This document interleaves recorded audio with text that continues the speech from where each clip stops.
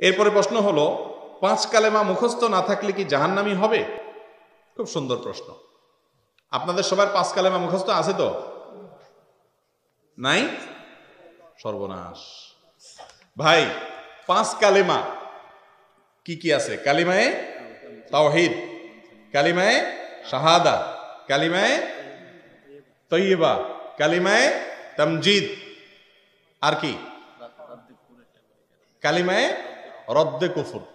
এই পাঁচ কালিমা। নামও তো ভালো করে মিলাতে পারি না ওনার হেল্পে মিলাইছি।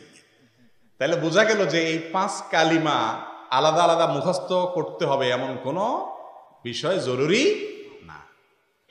এই পাঁচ কালিমার, বিশেষ করে কালিমায় তাওহিদ, তামজিদ যা বলতেছে, ঘুরে ফিরে একই জিনিস। সেটা কি? আল্লাহর একত্ববাদে বিশ্বাস করা। আল্লাহকে মাবুদ হিসাবে স্বীকৃতি দেওয়া, অন্তরে, অন্তঃস্থল থেকে বিশ্বাস করা।